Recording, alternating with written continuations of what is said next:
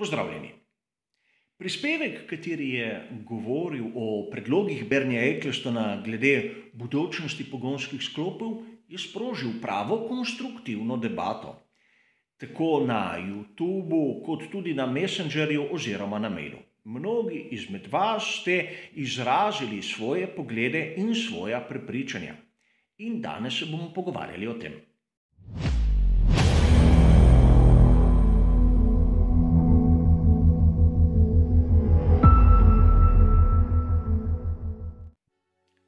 Kot ste verjetno že opazili, za menoj je pripravljenih kar nekaj maket, katere mi bodo pomagale poudariti oziroma razložiti določen argument, določen način mišljenja. In ne trdim, da imam zmeraj prav, gre za moje razmišljanje, katero temelji na mojem znanju, kolikor se kdo s tem ne strinja, nič napačnega. A pogosto krat opažam, da mnogi navdušenci imajo pri svojem razmišljanju določena izhodišča. In ko skušam razumeti argumentacijo za ta izhodišča, pridemo do nekaterih točk, katere so, dovolite mi izrazu, rahlo, rahlo napačne. In začnimo z verjetno tisto najbolj pogosto kritiko, katero imajo mnogi navdušenci Formule 1 to, da v sodobni Formuli 1 vidimo bistveno manj tistih navdušujočih prehitevanj, kot smo jih lahko gledali v preteklosti. In čeprav ta preteklost ni definirana, bomo skušali najprej razumeti, zakaj sploh do prehitevanja pride. In zadeva je izjemno enostavna, a dovolite mi, da najprej vzamem dve maketi.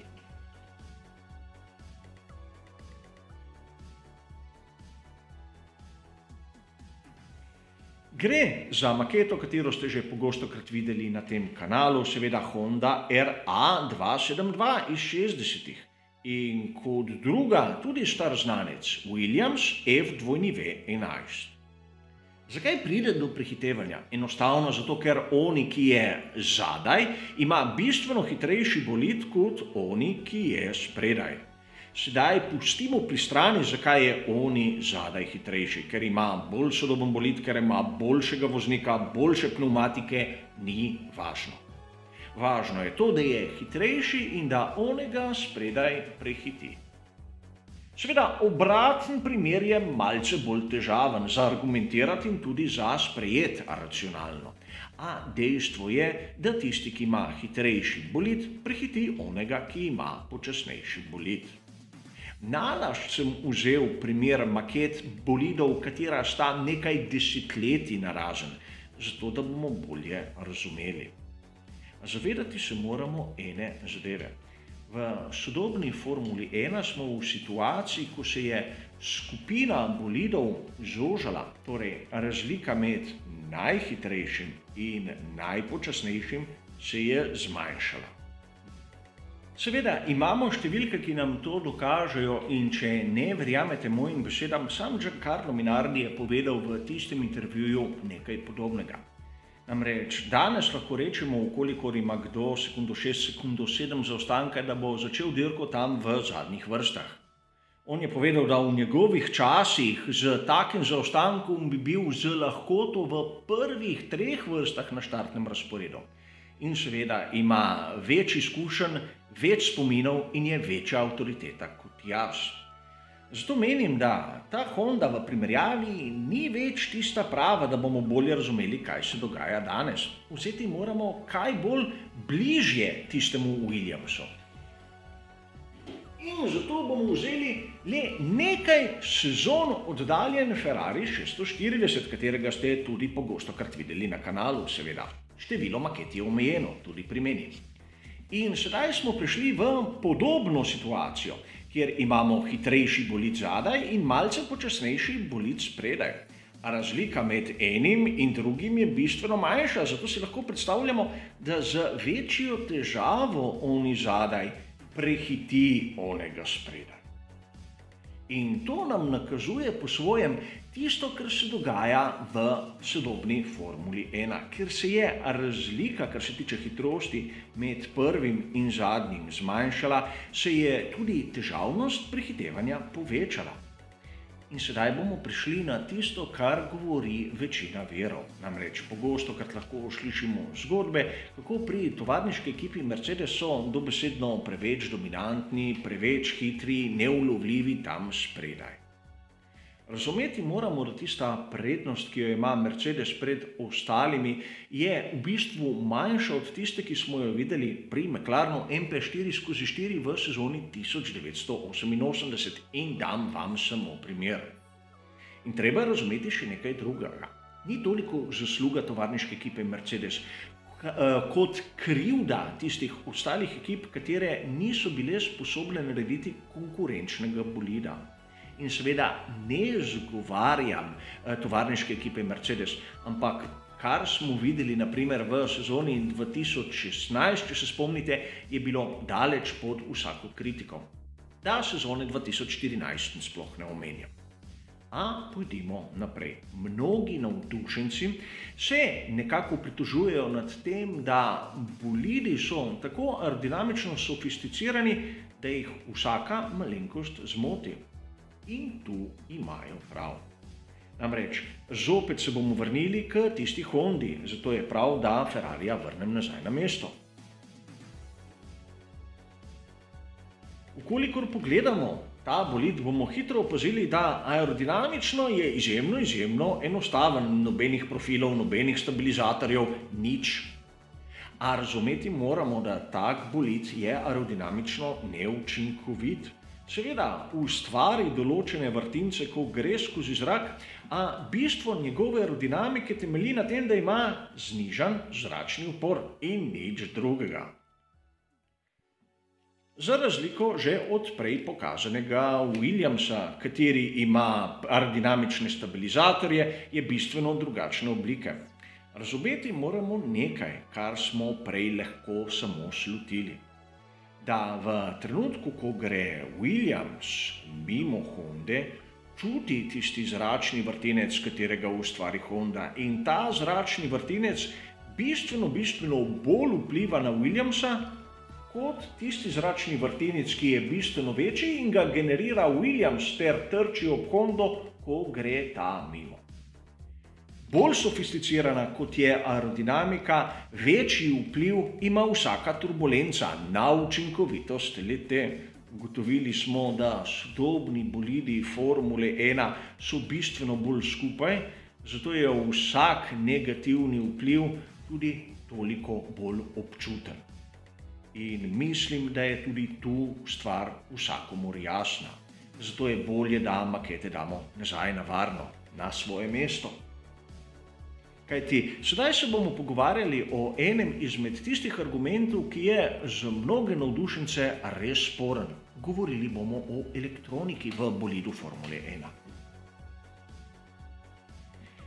Ena izmed tistih kritik je seveda ta, da v sodobni Formuli 1 je preveč elektronike, preveč zapletenih sistemov. In tu bi se lahko strinjali ali pa ne razumeti moramo, kaj je tisti vrhunec človeške znanosti. Dal vam bom lep primer.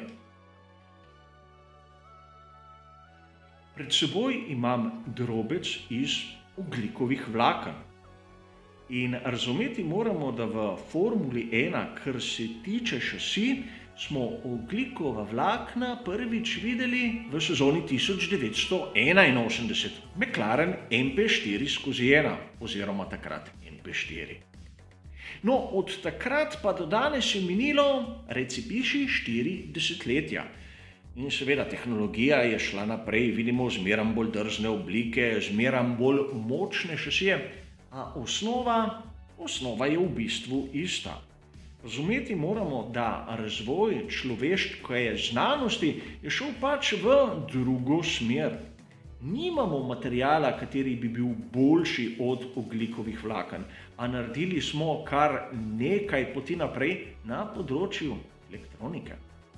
In zato, ker je bolid Formule 1 vrhunec tehnologije, ki jo lahko prikažemo, je tudi prav, da je ta in govorimo o vrhuncu motošporta. Za razliko od tistega, kar bi lahko rekli za serijo Indikar. No, serija Indikar verjetno bolj gradi na zabavnosti. Namreč tam imajo vsi eno in isto šasijo, imamo dva ponudnika motorjev, imamo enega dobavitelja pneumatik. In kar se tiče tehnologije, no, tam še zmeraj uporabljajo šasijo, ki jo izdeluje Dalara DWV12, katera izhaja, kot ste lepo razumeli, iz sezone 2012. Je potrebno povedati še kaj drugega? Kolikor hočemo vrhunec motošporta, mora biti v tistem bolidu ugrajeno najboljše, kar lahko pokaže določena ekipa v tistem trenutku. In danes je večina tega razvoja koncentrirana na te sisteme. Tega ne moremo spremeniti. In seveda, sedaj se bomo vrnili malce k tistemu človeškemu potencialu. Mnogi navdušenici govorijo, kako današnji vozniki niso na nivoju tistega, kar smo videli pred časom. In sedaj se bomo vrnili malce k tistim prvimi točkami, katere sem že omenil v tem prispevku. Namreč časoma smo ugotovili, da bolidi so zmeraj hitrejši, kar pomeni, da na eni in isti progi je čas, ki ga porabijo za narediti krok, zmeraj manjši. Seveda prihaja do določenih sprememb pravil, katere spravijo malce na laž moje besede, a vseeno vidimo, trend gre v tej smeri kar nam pove samo nekaj. Da voznik za, boli, za volanom bolida Formule 1 ima zmeraj manj časa, da odreagira. Tista ravnina, katera se ni spremenila, je v bistvu prevožena v krajšem časovnem razmiku in za prehitevati ima manj časa. A njegovi refleksi so v bistvu omejeni lahko trenira, lahko je talentiran, a tisti reakcijski čas je nekako omejen do določene meje. Bistveno hitrejši ne more biti. In zato lahko vidimo, da določeni talentirani vozniki odstopijo bistveno bolj od tistega povprečja. In tisti, ki so v povprečju z večjo težavo, sledijo tistim najboljšim. In to verjetno marsikoga moti. Razumeti moramo, da je bistveno težje danes narediti razliko kot naprimer v 80-ih, 70-ih, 60-ih, 50-ih, kjer so že bolidi bili bistveno bolj različni in je bil tisti človeški faktor še malce bolj odločilen. Danes, zaradi razvoja tehnologije, pač ni. In sedaj bomo počasi prišli do tiste zadnje točke, katera je po mojem osebnem mnenju tudi najbolj zanimiva. Mnogi navdušenci goreče zatrjujejo, kako so bili bolidi v preteklosti enostavni, zanimivi, kako zaradi tega, ker so bili manj sofisticirani, so bile v bistvu dirke boljše. In zopet se bomo vrnili k našim maketam, kjer bi vam rad predstavil izjemno, izjemno zanimiv pogled. Samo trenutek.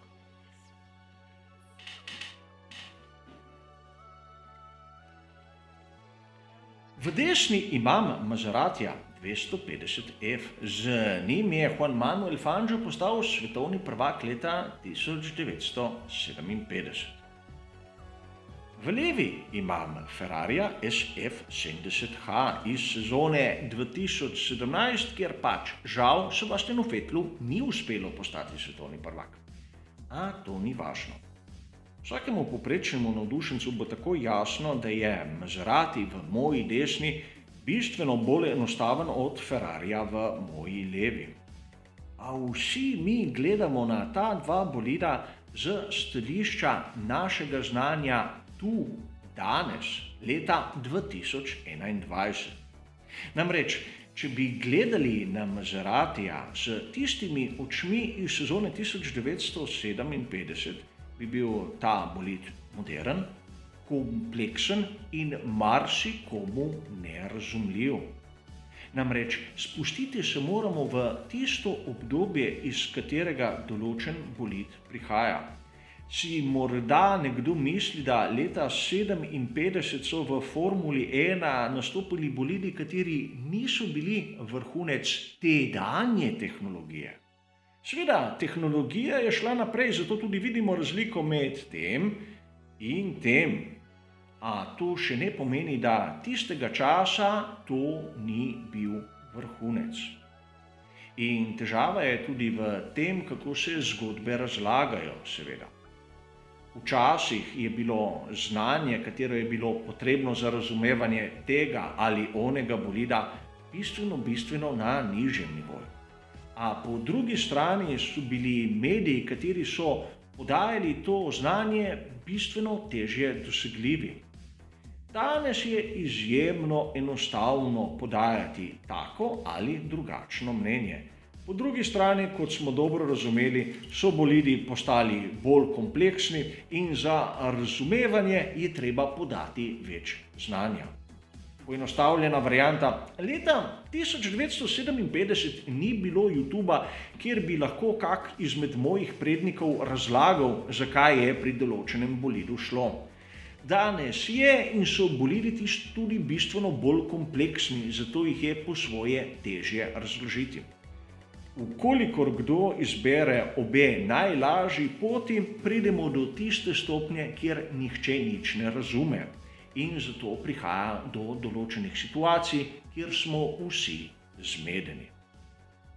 Seveda, verjamem, da določene izhodiščne točke so tako zakoreninjene v mišljenju mnogih navdušencev, da jih bo težko, če ne nemogoče izkoreniniti.